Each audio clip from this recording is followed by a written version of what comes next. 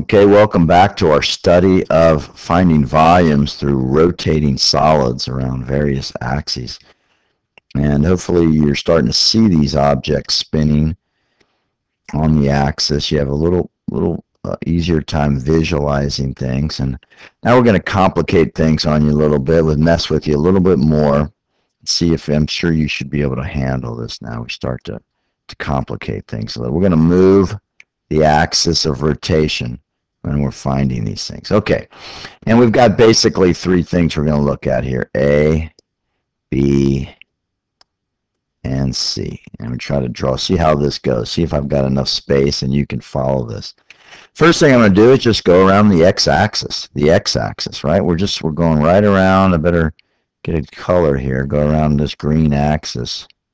Notice that's the same thing as saying y equal to 0. Okay?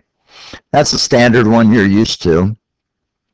And again, when you rotate this thing, you're going to see you get a cross-sectional areas that look like this cross sections.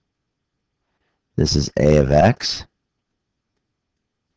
Right, my cross sections, when I rotate this, this is going to be a hollowed out bowl.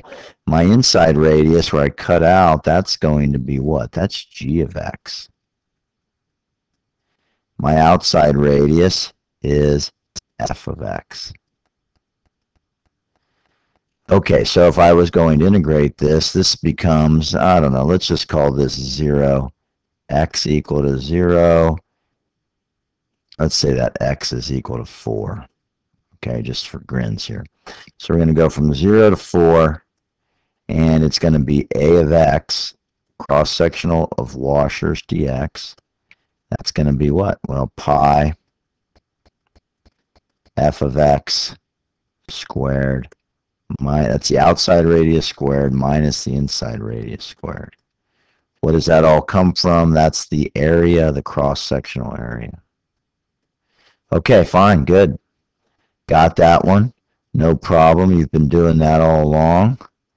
I think Khan did show you one of these complications here, but he didn't do the other one. So, what about this? Okay, this is y equal to minus 1. Well, now, this whole thing is spinning here, right? It's the same kind of shape, but actually now there's no, it's, it, this will actually hold water. This has got a hole in the middle completely. This is a completely kind of a bushing thing. And there's a cylindrical hole through it. But if you, if you cut the cross-sectional area, you would still do the following, right? I'd still draw the inner and the outer. They're a little bigger now. The radiuses are bigger. What is this? That's kind of the key thing. What is that radius? That is this, that distance here, right? What is that distance? That inner radius is g of x. It's really a minus a minus 1. Minus a minus 1. So that's g of x plus 1. That's the inner radius. Okay, so the inner radius of my washer, and again, this is, what am I doing? This is an A. I'm trying to get the cross-sectional area.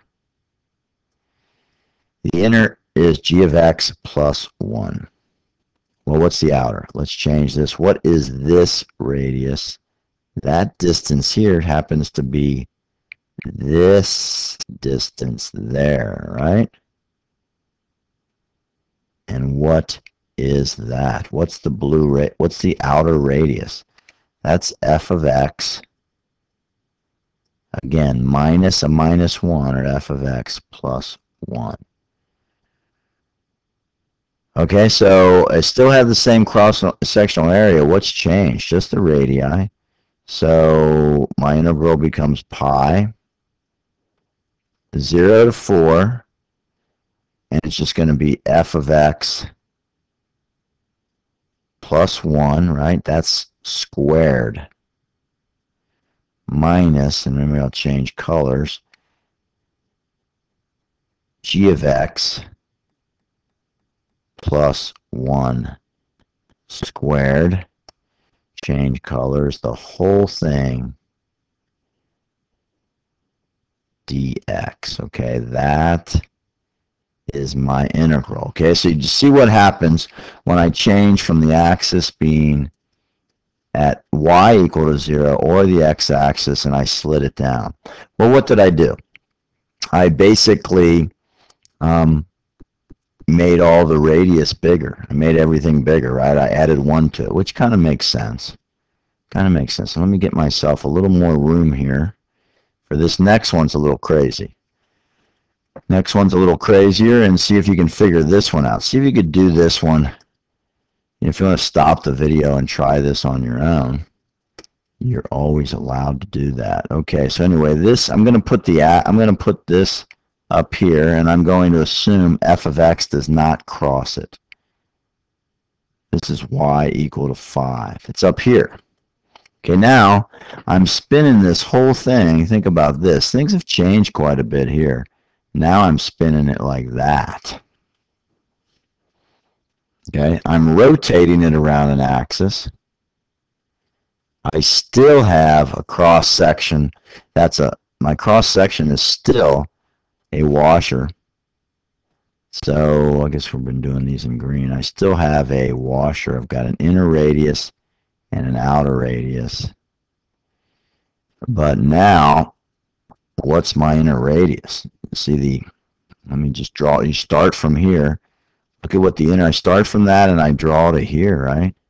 That is the distance. That's the, it's that curve that's going to be carving out the middle of this thing. That is this inner radius here, right? Okay, right? I'm trying to find a of x. Now the key is, what is that? this blue line is this. Well, what is it? It's, what is this length here? Well, you'd say it's 5. It's 5. It's, that's 5, right? Always 5. And then I'm going to subtract off this. So it's 5 minus f of x. See that? That's the inner radius. What is the outer radius? This line here. And if you understood why this was 5 minus x, then you would then you'd understand that that radius here is what? Well, that radius is just going to be 5 minus g of x. Okay, 5 minus g of x. Well, again, I'm just going to integrate a of x dx from 0 to 4. But now what do I got? I guess I better do the, uh, I'll do the red here. That's going to be what? 0 to 4. 5 minus g of x squared. I better keep my pi out front. Minus my inner radius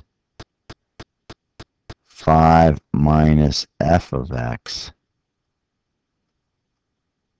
squared and the whole thing times dx and dx. you know what? I used to be able to, I used to be a lot more clever at this thing. Let's see if I can do this. Slide that over. Oh, yeah. Slide it over. Let's clean it up a bit let's get that dx because a lot of students like to forget that dx. I'm not going to let it happen. That is actually the width of my washer, right? This is a volume. This better always be positive. Okay? So anyway, here we've got nine and a half minutes. Notice what we've done. We've complicated things quite a bit we took a, a simple problem. We started off rotating it around the y-axis or the x-axis or y equal to 0. This is what you started with. Then we move the axis lower. When we move the axis lower, all it did was it made the um, the radii larger by 1. Kind of makes sense. Now, though, I took the axis and put it on top which actually flipped what the inside and the inside and outside radius were defined by the other function then. Okay.